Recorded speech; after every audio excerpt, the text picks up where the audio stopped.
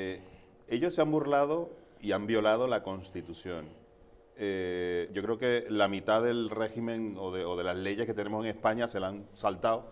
Les da igual la Loreque, les, da igual el constitucional, les da igual absolutamente todo. Ellos solo aceptan las leyes si les favorecen, cuando les favorecen y si les da la gana. Si no, no. Y ya está. 3.000 euros es un chiste, es un chiste.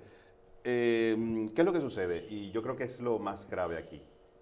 Es que eh, el señor Sánchez depende, y posiblemente dependerá de ellos, para ver si logra algo luego de las elecciones del 28.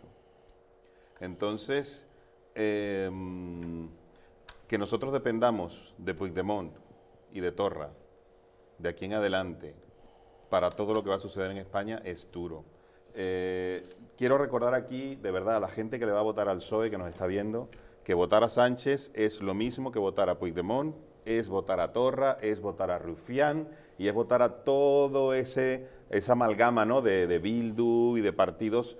Eh, yo no voy a ponerle calificativo, que cada quien le ponga el suyo, pero no es votar a Sánchez, porque Sánchez solo no va a poder. La única manera de que él vaya a gobernar es uniéndose a esa gente. Entonces, de verdad, cuando vean la cara de Sánchez, no es la cara de Sánchez.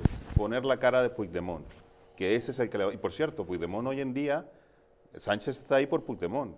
Sánchez ha hecho muchas cosas por Puigdemont. Ese es el real, el, de verdad, el verdadero presidente que hemos tenido todos estos meses, porque Sánchez ha querido y porque depende de él. O sea, yo de verdad estoy muy avergonzado por el presidente que tenemos, no puedo decirlo de otra manera, y lo que quiero decir es que vamos a ver si se atreve a imponer de alguna manera la ley allí y retira los lazos que, por cierto, al día siguiente se los van a volver a poner. A ver qué hace.